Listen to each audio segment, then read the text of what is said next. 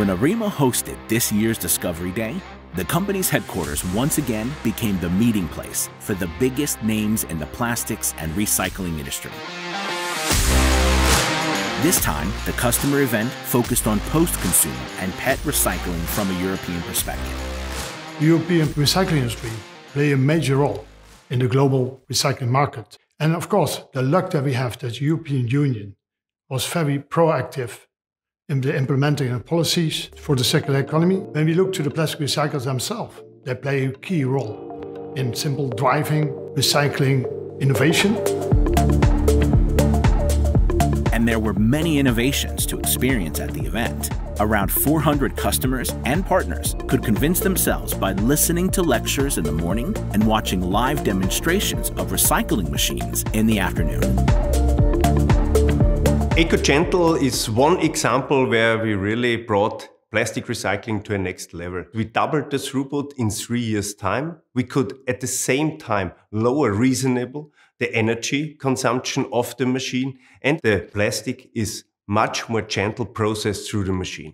A second example about really next level innovation of EREMA is our DuaFil compact system.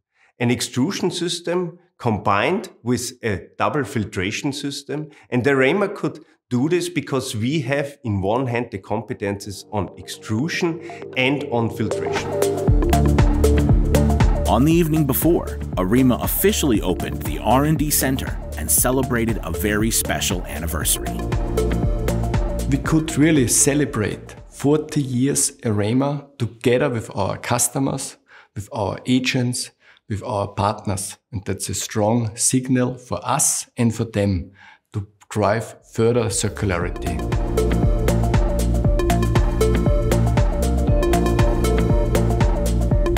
I was still surprised by the commitment that EREMA has for circularity.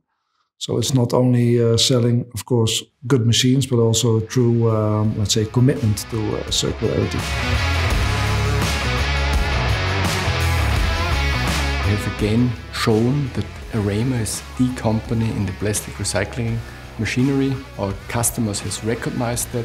They recognize the value of the full portfolio that we can offer them uh, for their business.